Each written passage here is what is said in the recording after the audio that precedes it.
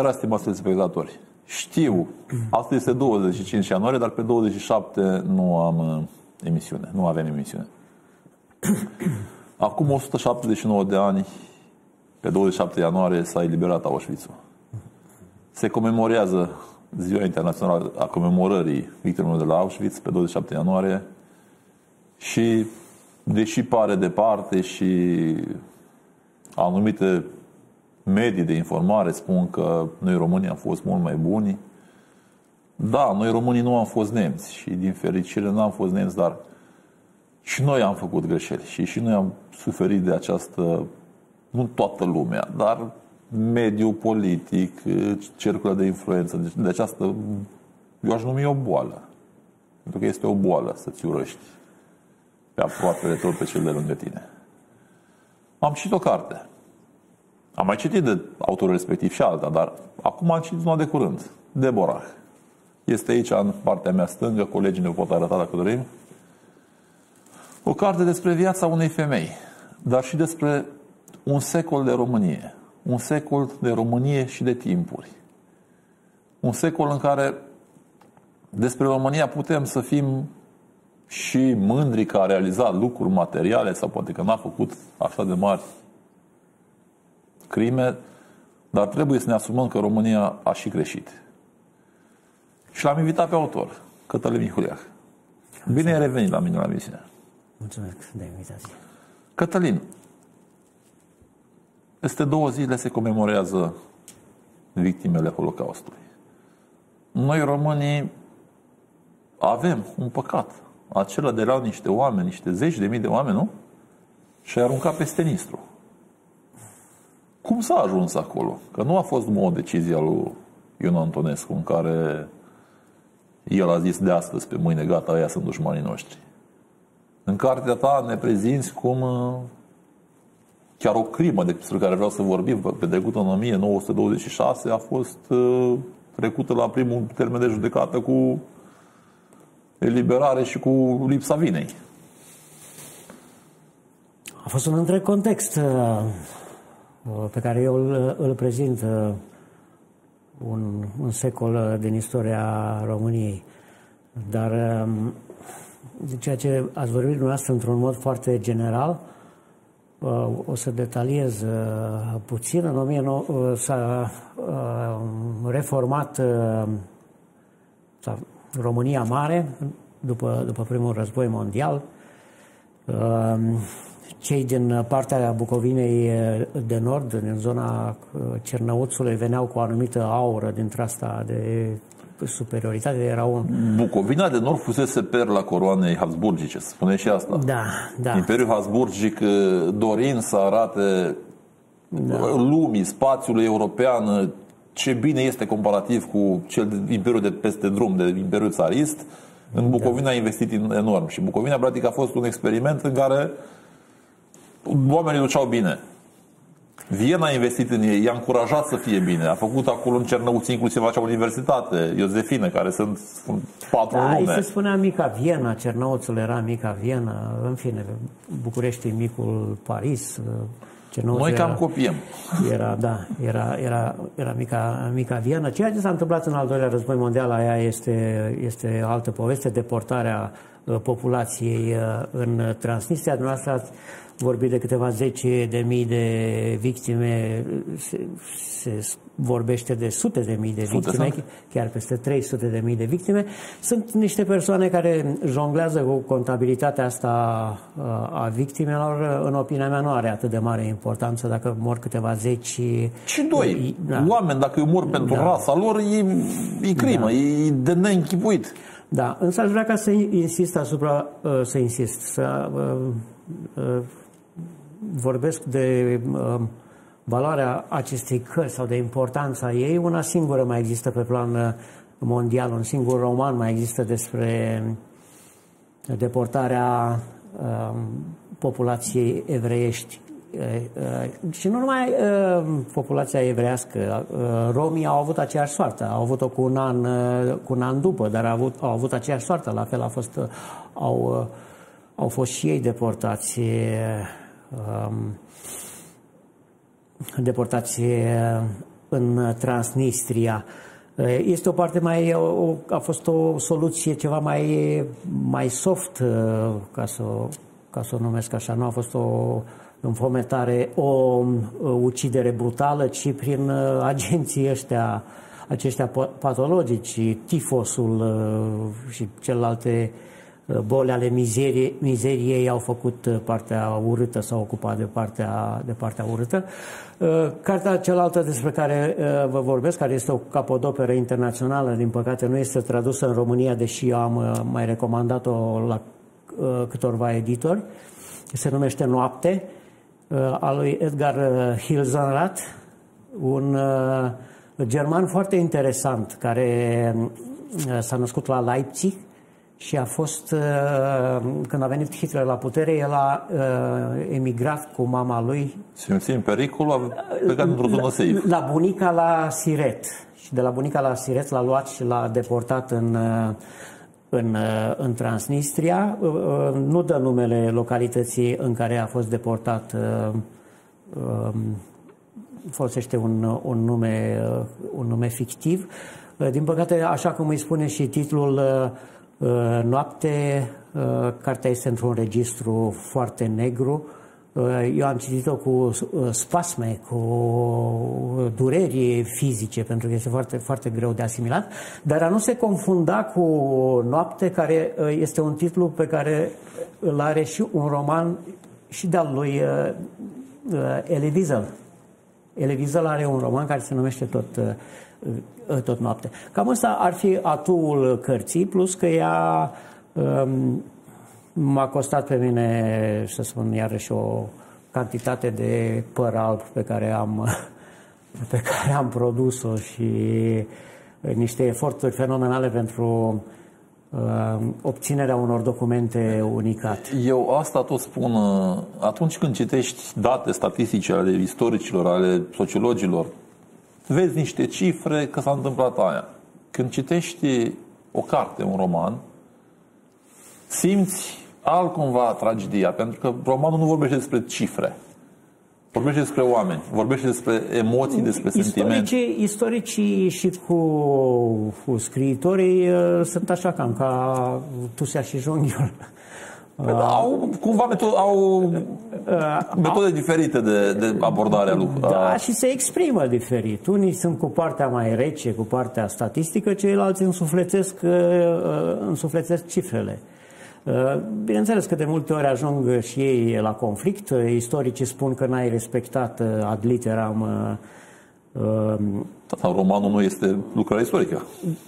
Da, nu este. Uh, eu îmi propun să am și anumite uh, părți um, care să restabilească adevărul și anumite um, părți care să facă dreptate uh, după ani. De exemplu, aici, în cartea aceasta, vorbesc despre o crimă uitată din, din istoria României.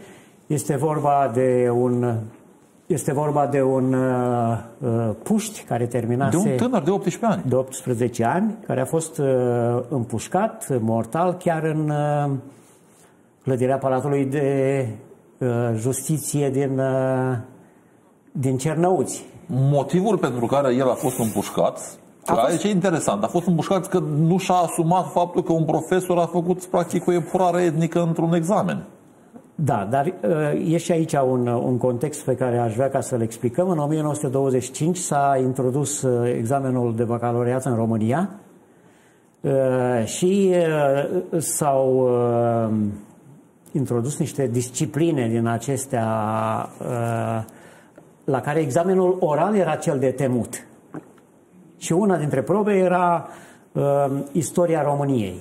Istoria României, mai, în fine, Um, gândiți-vă că cei din uh, Cernăuți care abia se lipiseră de România nu prea erau experți la uh, istoria țării așa și atunci se desemnau niște profesori care aveau uh, un rol de a-i uh, executa, de a-i pica la examen, ceea ce însemna pentru ei că și ratau cariera universitară. Și aici este vorba de un martir al neamului românesc, pe care el îl cheamă Diaconescu, eu l-am și cunoscut pe stradă, așa îl, cunosc, îl, îl vedeam că a trăit în același cartier cu mine în Iași. El a fost, era profesor la Liceul Negruții în Iași, a fost șeful comisiei de examinare și a picat în masă. Un elev a îndrăznit pe stradă să-l jignească, să-i spună că noi știm mai multă carte decât... Da. Să spunem telespectatorilor contextul. Din 104 elevi evrei, da. acest domn Diaconescu da. a picat 102. 102, da. da. Pe motiv că nu știau istoria României cum și-a dorit el. Cum? E foarte ușor pentru un profesor, uh, uh, mai ales când are de-a face cu elevi emotivi, care știu că joacă șansa uh, viitorului, da? E foarte greu să-l încurce. Îl ia, îl întoarce, îl... Da, prinde punctul slab și după care... Prinde punctul slab și, și, și îl adâncește. Și pe când uh, profesorul examinator care picase în masă își lua uh, cina, a fost așteptat de o delegație de părinți ai copiilor și de copii și de, și de oameni și de creștini de acolo care l-au luat la rost. Și au zis ce ai faci domnule aici, hoțule, tâlharule, spăgarilor, uh, a fost așa uh, o demonstrație puternică. Și acest elev care avea un nume, să spunem, cu o conotație sexuală destul de care, care ar putea să ducă în ficțiune, îl chema Falic, David Falic, L-a luat la rost, avea mai mult tupeu așa și a spus noi știm mai multă carte decât elevii din uh, uh, regat, cum era numit uh, restul României, și chiar mai mult decât niște profesori.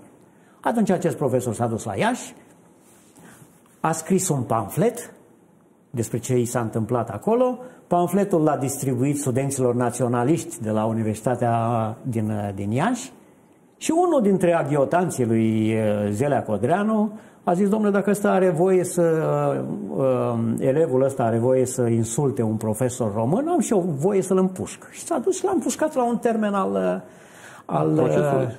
De violența asupra profesorului. Al, al, al procesului și după aceea criminalul a fost uh, absolvit, cum se spune, a fost găsit în legitimă apărare, așa s-a spus. Domnule, Ministrul al, este ceva foarte interesant, ministrul, al, ministrul de interne în acea perioadă a fost Octavian, era Octavian Goga, care în Parlament, că s-a făcut o vâlvă, eu am citit ziarele de atunci, în Parlament, el a zis, ce, domnule, bine a făcut. Cam ăsta era uh, uh, subtextul. Bine a făcut, ce vin ăștia și ne dau nouă lecții aici, uh, pozează, vor să pară mai daci decât Decebal și mai roman decât Traian, ea mai dă încolo, ea mai așa, bine a făcut, cam, cam ăsta era și de aici a, a pornit un întreg val de violențe în România, pentru că normal dacă un uh, evreu este împușcat în Palatul de Justiție, atunci înseamnă că putem și noi să facem orice. Și a fost un val întreg de violențe în, în România. Uh, Cam asta este povestea acelui David uh, Falic. Uh, eu i-am găsit uh, și monumentul funerar cu o inscripție, cu o încărcătură fantastică. De fapt și cartea cu, cu, cu asta se...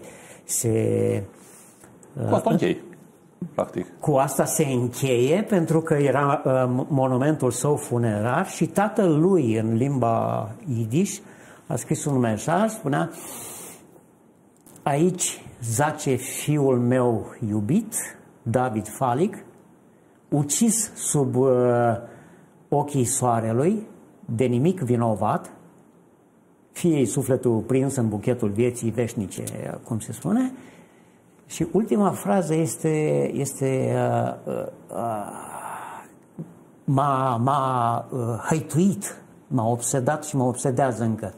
Dumnezeu să vadă și să ceară socoteală. Este fantastică.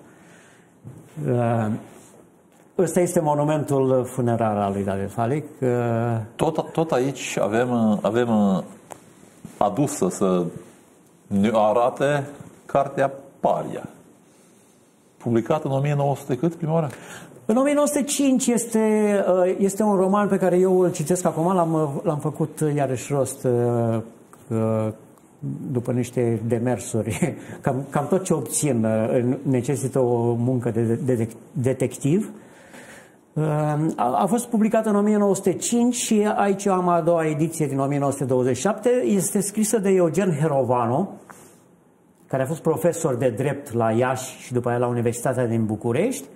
Normal, cu tot ce însemna, lucrurile nu, nu, nu difereau Uh, cine e profesor la drept e și parlamentar, și el a fost parlamentar, a fost deputat, a fost primar al Iașului chiar într-o mică, într-o mică uh, sesiune și normal că a cochetat și cu literele, că niciunul nu se putea abține, nici, nici oamenii noștri politici nu se uh, abțin de la... Dar oare atunci și le scriau singuri, că acum mulți le scriu prin ghostwriter și doar își pun după aceea un...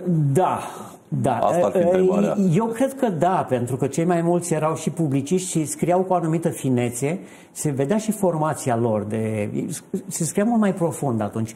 Dar Paria, cartea aceasta, care deci a fost publicată în 1905, vorbește exact despre asta, despre uh, greutatea de a se adapta, de a fi asimilați. Uh, Iașul atunci avea jumătate de populație evreiască și cu toate astea uh, modelul lui este uh, Abraham Stoerman, este unchiul lui Benjamin Fondan, un medic ieșean evreu, în carte apare Samueli, deci Stoerman Samueli, un medic evreu care a fost major în primul război mondial. A, deci a luptat pentru bani, pentru țară, nu? A luptat pentru țară, a fost, a fost un erou chiar.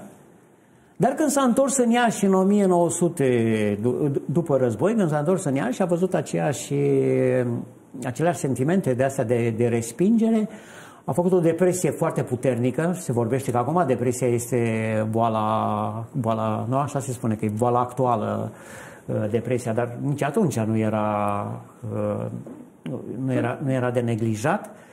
Și pe fondul uh, acestei depresii puternice a devenit insomniac, era bântuit de, și s-a sinucis injectându-și singur, era medic, fiind medic, injectându-și singur morfină.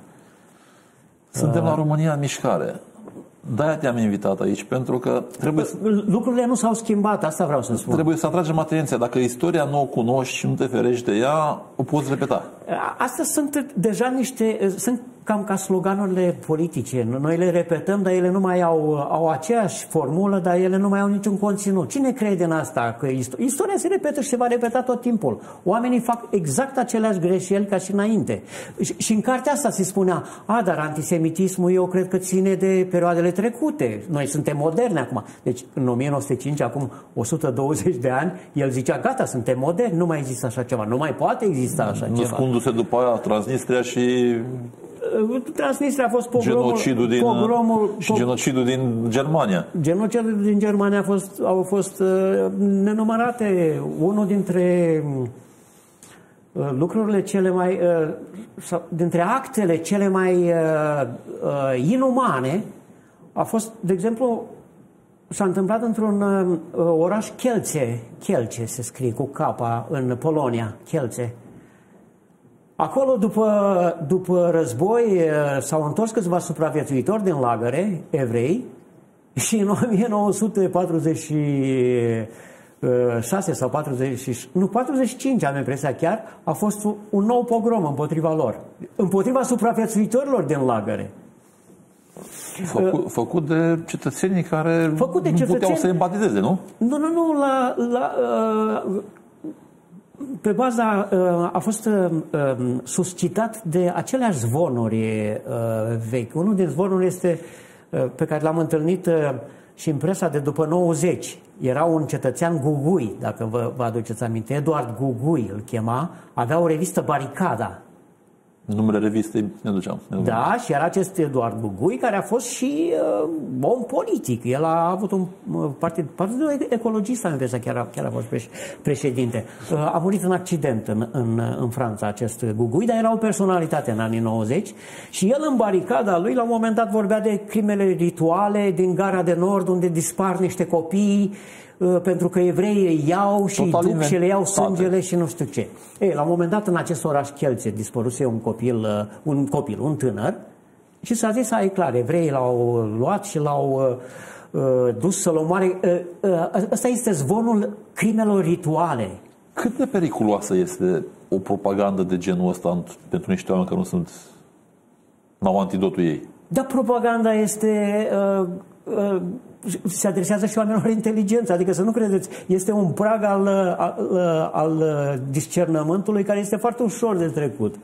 Uh, nu numai oamenii tâmpiți cad în aceste, în aceste reclame, dar gândiți-vă în, în, această, uh, în aceste zvonuri mincinoase. Gândiți-vă teroriștii lui Iliescu, care trăgeau în București din orice poziție și apărea Iliescu cu puloverul lui și cu așa și zicea fiți atenți, sunt foarte bine antrenat și trag din orice poziție lucrurile astea s-au uitat, uh, dar uh, e, și uh, zvonul are capacitatea de seducție. Zvonul seduce. De, tu nu trebuie să, normal, la o analiză atentă, dacă pui pe foaie și uh, faci niște calcule, dar uh, reiese după un timp că era absurd. Dar pe moment el te seduce. Cătălin Mihuleac, în cartea Dan Deborah apare de câteva ori cumva motivul că ce bine că armata, că statul român este corupt, că dacă ar fi fost Gestapo, ar fi fost mult mai grav pentru cei deportați, că n-ar fi avut nicio șansă de scăpare. Cu cei care am discutat. Ce, ceea ce noi tot criticăm în acest moment și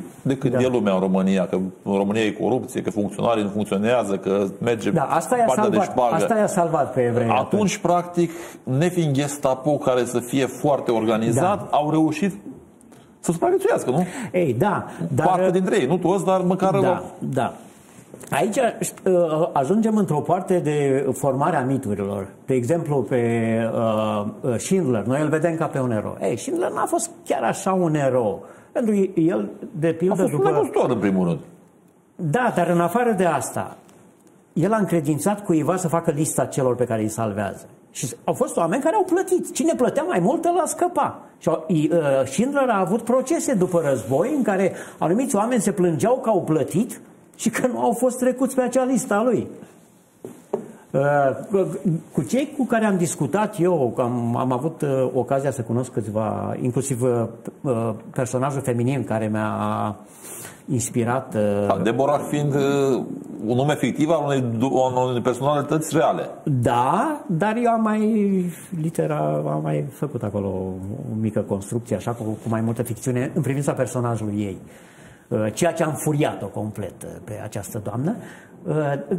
Dar nu numai ea, și alți supraviețuitori de acolo mi-au spus, domnule, dacă nu aveam cui să dăm șpagă, muream. Deci dacă era o rigoare... Cum Gen au, nemțească? Nemțească nu scăpam uh, unul sau scăpam, uh, scăpam uh, mult mai greu. Pe când așa mereu găseai undeva unde să plătești, unde să te treacă, unde să... Și o să vă dau un exemplu. Um, oficial medicii nu mai, au vo- nu mai aveau voie să, să practice. Medicii evrei nu mai aveau voie să, să trateze creștini. Ei, cu toate astea, oficialitățile din, din Transnistria aveau medici stomatologi evrei, de exemplu. Era iarăși un guvernator de acolo care avea secretara evreică. Deci mai găseau câte una frumușică, câte una mai... Era o chestiune de care pe care se salvează cine poate. Una dintre probleme pe care iarăși este un lucru pe care noi îl trecem cu ușurință Uh, trecem, îl, îl tratăm cu lejeritate, e că uh, Thomas Kennedy, cel care a scris romanul Lista lui Schindler, își pune la un moment dat, are chiar uh, pasaje în care își pune întrebarea, domnule, dar de ce au fost salvați ăștia și nu alții? Cum e asta? Adică ce, ce criterii au stat la baza acestor alegeri? De fapt, este o luptă pentru supraviețuire. Se salvează cine poate și după aia încercăm să ne regenerăm. Apropo de salvarea cine poate, ai două personaje în carte. Da, am mai multe. Da, două personaje care sunt cumva legate între ele și unul dintre ele este colaboratorul tuturor sistemelor de siguranță. Da, acesta este, este vorba de Aurel Leon, este un personaj uh, care și acum uh, e studiat la Universitatea din Iași, la Facultatea de Jurnalistică, este acolo un, un soi de guru care îl consideră pe ăsta un mare condei. În opinia mea nu era, scria foarte prost și foarte dulceac și foarte... Uh, și acesta Aurel Leon la un moment dat, pentru că a fost exmatriculat de la Liceul Negruții, deoarece fura de la colegii lui evrei, a fost dat afară, din, a fost exmatriculat pentru că era hoț profesorul Diaconescu de care am vorbit a fost unul dintre cei care a, au, uh, l-au uh, împins spre ieșire, ca să spun așa. Răzbunarea lui Leon a fost că după câteva zeci de ani l-a băgat în pușcărie pe ăsta. Ăsta scria scrisori anonime, uh, profesorul Diaconescu ieșise, era scos pe linie moartă, scria scrisori anonime din americani, nu știu ce, români, treziți-vă, le punea în cutiile poștale. În anii 50. Ale, în anii 50. Le punea în cutiile poștale ale oamenilor, iar ăsta s-a dus și a luat o probă de asta, de grafologică, uh, în fine. Uh, dar contextul, iarăși este foarte interesant, contextul de atunci. Uh, bunica lui Bogdan Olteanu, dacă îl mai țineți minte, care era președinte al Camerei Deputaților. Da. Și vicepreședinte pe la Banca Națională. Așa, cetățeanul ăla, așa. Bunica lui era Gisela Voș. Adică, da, Gisela Voș era o, o persoană foarte importantă în Partidul Comunist. Și a fost o anumită Um, ședință internă a partidului în care s-a vorbit despre modalitățile de combatere a zvonurilor. Gisela Voș, bunica uh, uh, lui Bogdan Olteanu, sper să nu ne scrie pe toacă, fiindcă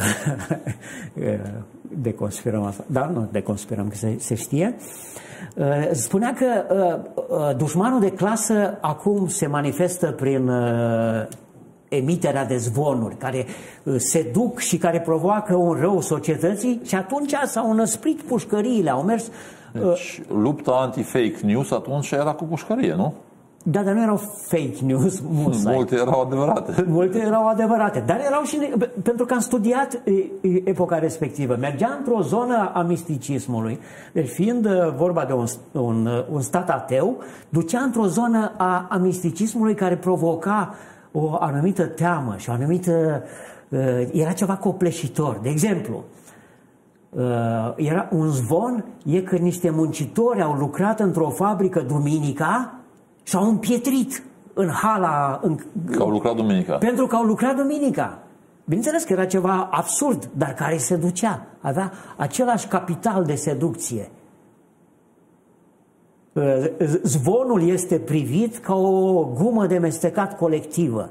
El se pasează ca o, cum ne pasăm noi uh, pastilele astea de gumă de mestecat și uh, se mestecă în, uh, în, în, în colectiv. Deci așa acest Leon și-a băgat profesorul din școală în facultate, în facultate, în pușcărie, deci profesorul de școală și-a băgat în pușcărie, rețineți, a luat o condamnare la 70 de ani, a luat o condamnare de vreo 15 ani în care a făcut numai vreo... În jur de 5. 5-6 pentru că a venit faimosul decret din 1964 de eliberare, da? Și, a, și atunci a, a și scăpat. Dar el l-a băgat, uh, da. Suntem uh, în anul 2024 deja. Da, și după... Aparent la 100 de ani de atunci. Din fericire nu mai sunt nebuni cu pistoale pe stradă. Dar în continuare sunt oameni care merg pe ideea aia de națiunea noastră, străinii care vor să ne sugă seva. Eu Practic se schimbă puține lucruri în istorie? Nu sunt eu în măsură, sunt un mic observator, nu păi am... Tu, observatorul, pe tine te întreb, nu întreb acum pe un sociolog, nu, nu te da. întreb ca și om care a, a făcut vreun studiu, da? Nu ai senzația cumva că eu cred că... Timpurile doar trec, nu se și schimbă? Da, oamenii s-au înmulțit și într-un ritm, deci atunci la nivelul uh, uh, acum 100 de ani, uh, fac o mică, fac o mică, o mică paranteză, am cunoscut un domn Langer, îl cheamă, Jacques Langer, Langer, așa care uh, e bucureștean, născut în București, tatăl lui avea un magazin de uh, coloniale, pe calea moșilor. Um, el este născut în anul 1930. Trăiește în Franța, am, am și niște fotografii cu el. Și el îmi spunea că, uite, domnule, când m-am născut eu, pe pământ erau 2 miliarde de oameni, acum sunt 8 miliarde. De patru ori mai mult, suntem mult mai aglomerați, trebuie să ne facem uh, mult mai greu, ne, trebuie să dăm din coate mult mai hotărât ca să ne facem uh, o bulă. Uh, Ehm, am evitat puțin răspunsul, răspunsul pe care mi l-ați cerut. Eu cred că sunt povești astea că omul este o fărâmă de lumină și că nu știu ce, o fărâmă de dumnezeire și sunt unii, cei mai mulți n-au nimic de a face cu dumnezeirea și cu bunătatea. Și cred că e o, un duh al răului care din când în când se face simțit uh, și care se manifestă, acum vedeți, sunt două războaie în curs, da? Două războaie dintre astea. Și se pare că vor mai fi, sunt și altele care se pregătesc. Și altele care, și altele care se pregătesc. Și normal fiecare își face calculele lui. Bine că scăpăm noi și, și concurcă ceilalți. Și mereu se vor găsi criteriile astea etnice sunt întotdeauna niște motoare ale, ale răului. Apartenența, naționalismul ăsta declanșează întotdeauna. Naționalismul națiunea nu înseamnă etnie. Da. Eu sunt român naționalist, dar plac și sașii, și ungurii, și romii, și cunoștințele evrei care știu tot. Nu-i văd pe ea că nu sunt români. Știți, e un paradox al, uh, al naturii umane, cum a fost cu Erdogan, că au votat o, uh, l-au votat o grămadă de turci care lucrează în Germania și care au plecat din țară din cauza, din cauza mizeriei economice economici de acolo. Nu știu, probabil că sunt niște, niște motoare dintre astea care uh, doar în, în, în aparență se gripează sau stau din când în când uh, și vegetează și care niște, niște motoare ale răului care se manifestă uh, periodic.